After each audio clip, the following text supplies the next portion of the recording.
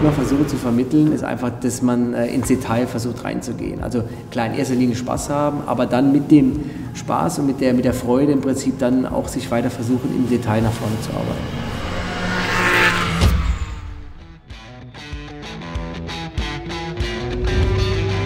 Von der Fahrtechnik her ist das Motordrom sowieso eine Herausforderung, weil die Straße relativ schmal ist.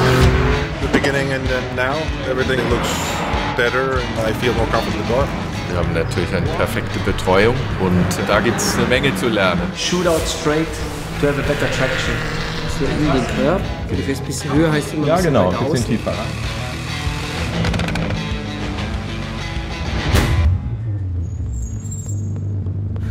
Then, you know, that's, that's a tricky point. Like you want to use the road on the right hander, but you then also want to come back to position the car for the, for the left hander. Open the throttle, and it's possible to use nearly all the road towards the exit.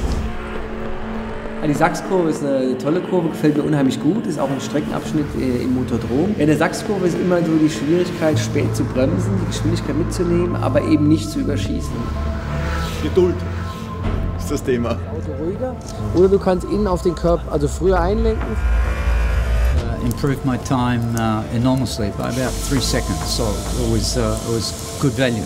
Ein Überholmanöver am einfachsten ist natürlich auch ein Fehler vom Vordermann zu warten. Ansonsten ist zum Beispiel jetzt nach der Parabolika die Spitzkehre ideal, wenn man eine lange Anbremsphase hat. Geht gut vorwärts und äh, macht eine Menge Spaß. Für mich ist die Faszination einfach, das Auto am Limit zu bewegen, das Gefühl zu haben, man beherrscht es. Es klappt nicht immer, aber eben die, das ist für mich die große Herausforderung. Und auch dann die Geschwindigkeit und das ist einfach ein Riesenerlebnis.